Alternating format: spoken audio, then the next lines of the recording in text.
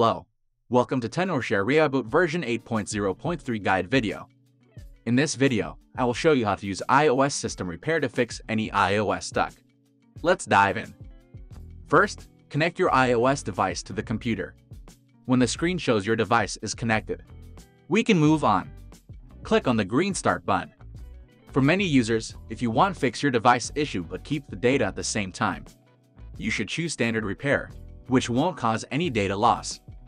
Once confirmed, click on Standard Repair button. Then Reiboot will ask you to download the firmware for repairing. Just click on the download button and wait for the download process completed.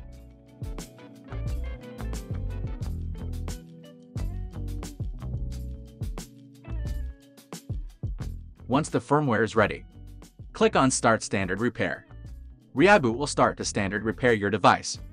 Usually it takes about 10 minutes to repair. Please keep your device connected while repairing.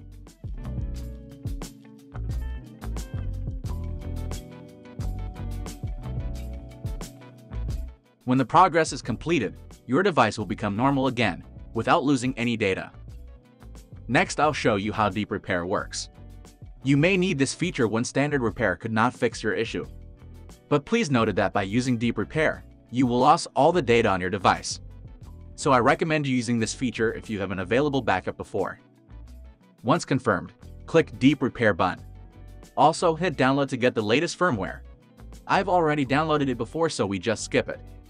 Then click to start Deep Repair. And click Repair button on the pop-up window. Like standard repair, Deep Repair also takes 10 minutes or so. What you need to do is waiting patiently.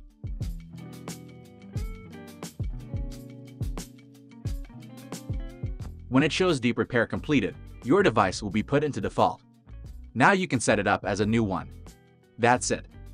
For more tutorials, you can subscribe us or go to tenorshare.com. See you in next video.